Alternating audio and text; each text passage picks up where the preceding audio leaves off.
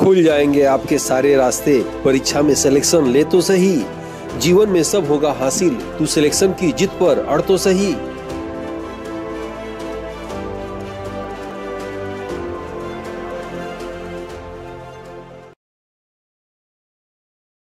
Aditya classes exam Guru channel में आप सबका स्वागत है। आज हम लोग इतिहास की प्रमुख तिथियाँ 8 से 10 मिनट में नियर अबाउट लगभग हम लोग समाप्त करने जा रहे हैं। तो आइए देखते हैं इतिहास की प्रमुख तिथियाँ। यह क्लास असिस्टेंट प्रोफेसर के जीएस पेपर के लिए एग्ज़ाम के लिए महत्वपूर्ण तो है ही है? साथ में किसी भी गवर्नमेंट के वनडे एग्जामिनेशन में ये स्पष्ट इसमें से ज़रूर आते हैं, ठीक है? तो आइए देखा जाए इतिहास की प्रमुख तिथियाँ और भारतीय राष्ट्रीय आंदोलन की क्लास हम लोग बिल्कुल इस तरह से लेने जा रहे हैं और ये सभी छोटे छोटे क्लास लेने के बाद तब जाके भारतीय राष्ट्रीय आंदोलन के लगभग मैक्सिमम प्रश्न आपसे सॉल्व होने लगेंगे। आइए शुरू करते हैं यहाँ से। सत्रह में प्लासी का युद्ध होता है। सत्रह सौ उनसठ में बेदरा का युद्ध होता है। 1760 में वांडिवास का युद्ध होता है। 1773 में रेगुलेटिंग एक्ट आता है। इसी रेगुलेटिंग एक्ट के तहत सत्रह सौ चौहत्तर में भारत में कलकत्ता में सुप्रीम कोर्ट की स्थापना होती है, वारन हेस्टिंग के समय। याद रखेंगे आप। और सत्रह सौ चौरासी में पिट्स इंडिया एक्ट का आता है भारत में। सत्रह सौ तिरानवे में बोर्ड ऑफ़ कंट्रोल का गठन होता है। 1813 में प्रथम चार्टर्ड एक्ट आता है। इसी एक्ट के तहत भारत में प्रतिवर्ष एक लाख रुपए शिक्षा पे खर्च करने का प्रावधान आता है।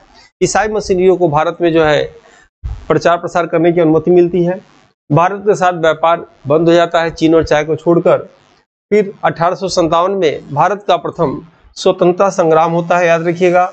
पहली बार भारतीयों को लगता है कि कोई बाह्य शक्ति जो है हम लोग को गुलाम बनाना चाह रही है। तो पहली बार जो है अठारह में होता है। अठारह में रानी केटा आता है। पील आयोग का गठन भी इसी समय होता है। अठारह सौ इकसठ में भारतीय परिषद अधिनियम का गठन होता है। अठारह सौ पचासी में भारतीय राष्ट्रीय कांग्रेस की स्थापना होती है। डफरिन के समय, गवर्नर जनरल डफरिन के समय अठारह सौ पचासी में 28 दिसंबर अठारह सौ पचासी में भारतीय राष्ट्रीय कांग्रेस की स्थापना होती है। पहले इसका नाम भारतीय राष्ट्रीय संघ था। तो बाद में दादा भाई नरोजी के कहने पे संघ की जगह पे कांग्रेस नाम पड़ा ये एग्ज़ाम में पूछा जाता है। 1904 में कर्जन के समय भारतीय विश्वविद्यालय अधिनियम पारित होता है। 1905 में बंगाल का विभाजन होता है। 1906 में मुस्लिम लीग की स्थापना होती है। 1907 में सूरत अधिवेशन होता है। 1909 में मार्ले मिंटो सुधार आता है।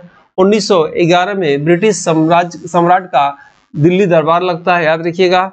और जॉर्ज पंचम और मैरी आते हैं। 1916 में होम रूल लीग की निर्माण होता है। 1916 में लखनऊ समझौता होता है, जो कांग्रेस और जो है मुस्लिम लीग द्वारा समझौता होता है, के बीच होता है। 1917 में महात्मा गांधी द्वारा चंपारण आंदोलन होता है। 1919 में रोलैक्ट अधिनियम आता है, जिससे काला अधिनियम, आतंकवादी अधिनियम के नाम से भी जाना जाता है। ठीक है? उन्नीस में जालिया वाला बाग हत्याकांड होता है चेंसफोर्ड के समय होता है और उन्नीस में मानटेंग्यू चेंसफोर्ड सुधार भी आता है। 1920 में खिलाफत आंदोलन होता है। 1920 में असहयोग आंदोलन होता है। और ये हमारी टीम द्वारा टेस्ट पेपर तैयार किया गया है। किसी भी चीज़ को देखेंगे आप, तीन तरीके से हल कराया जाएगा। सबसे पहले जो भी सिलेबस के अनुसार असिस्टेंट प्रोफेसर का सिलेबस है, उसके अनुसार आपको ये पीडीएफ मिलेगा। उसी ई पीडीएफ पे आपको जो है वीडियो मिलेंगे। उसी वीडियो फिर पुनः आपको टेस्ट मिलेंगे। यानी एक ही कंटेंट को जब तीन तरीके से आप पढ़ेंगे तो मैक्सिमम प्रॉब्लम आपकी सॉल्व हो जाएगी। आपकी स्मृति में देर तक वो बातें रहेंगी और लास्ट में आप फाइनल टेस्ट देंगे, तब जाके जीएस में पूर्णता आएगी। इस टेस्ट की वैलिटी यूपीएचसीएससी इक्यावन के अटैचमेंट इक्यावन के डेट तक रहेगी, याद रखिएगा। इसमें आपको ई पीडीएफ नोट्स मिल जाएगा। हिंदी और इंग्लिश दोनों मिलेगा। 2014 से लेकर अब तक साल पेपर आपको इसमें मिलेंगे। इसमें रेगुलर प्रैक्टिस सेट एग्ज़ाम तक अपडेट होता रहेगा, याद रखिएगा। ऑर्गेनाइज क्लास बिल्कुल मिलेगा आपको इस टेस्ट में। याद रखिएगा यूट्यूब पे सभी क्लासेस जो है नहीं मिलते हैं। कुछ क्लास कुछ दिन बाद अनलिस्टेड हो जाता है। इसमें बिल्कुल जो है सीरियल वाइज आपको क्लास मिलेगा और टेस्ट लेने पे ही पूर्ण रूप से आपको लाभ मिल पाएगा जीएस का। फिर आप देखिएगा टेस्ट सीरीज़ में आप मिलेगा आपको टेस्ट सीरीज़ मॉडल पेपर के रूप में सिलेबस वाइज टेस्ट के रूप में और यूनिट वाइज टेस्ट के रूप में, जिसका रेट उन्नीस सौ है, लेकिन अभी ये बारह में दिया जा रहा है। और हमेशा याद रखिएगा, अपनी गलतियों को एग्ज़ाम से पहले प्रैक्टिस करके सुधारें, ताकि वो गलतियाँ एग्ज़ाम सेंटर में आपकी ताकत बनकर आपको जीत दिलाए याद रखिएगा।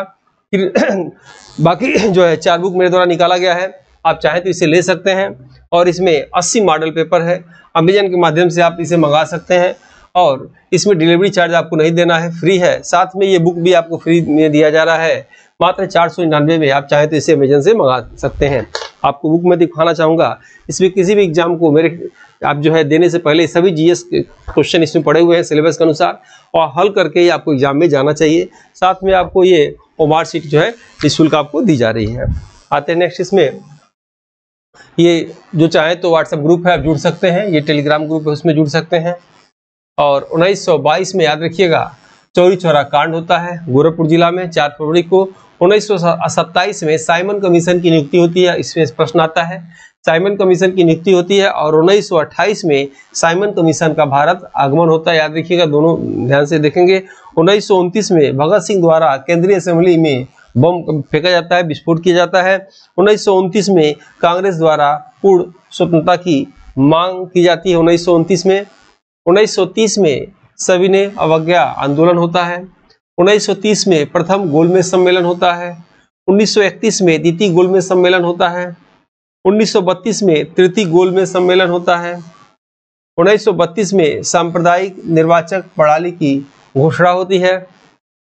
1932 में पूना पैक्ट आता है। 1942 में भारत छोड़ो आंदोलन होता है महात्मा गांधी द्वारा। 8 अगस्त 1942 में 1942 में क्रिस मिशन का आगमन होता है। 1943 में आज़ाद हिंद फौज की स्थापना होती है। 1946 में कैबिनेट मिशन का आगमन होता है। और 1946 में भारतीय संविधान सभा का निर्वाचन होता है। 1946 में अंतरिम सरकार की स्थापना होती है। 1947 में भारतीय स्वतंत्रता की प्राप्ति होती है। इसके बाद जो है यही ये आप क्लास की क्लास समाप्त करते हैं। जल्दी मिलते हैं हम लोग नए वीडियो के साथ।